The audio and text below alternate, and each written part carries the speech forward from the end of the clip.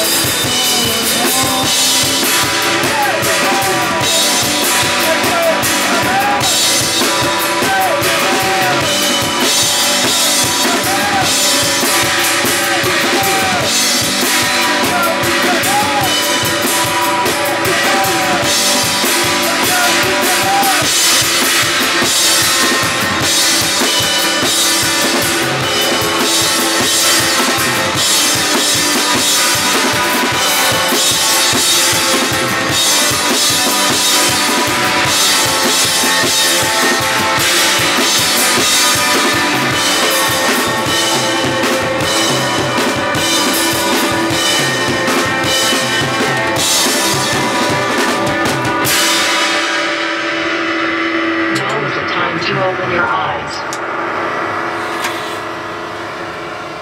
Should uh, uh, what is it called?